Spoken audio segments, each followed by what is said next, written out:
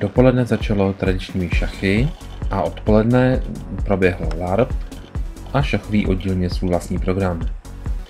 Nikdo zatím z dětí netušil, že bude následovat den Trifidů.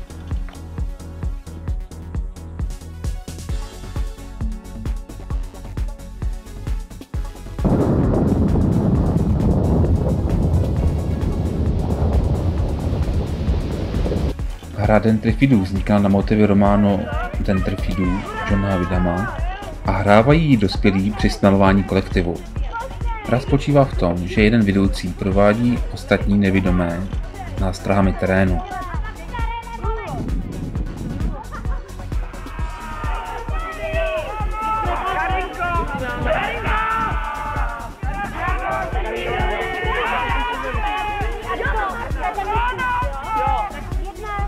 Mladší děti si užili pocit zodpovědnosti za ty starší a starším ukázala, jaké to je být nevědomým. Úplně všem pak ukázala, kdo má jaký charakter.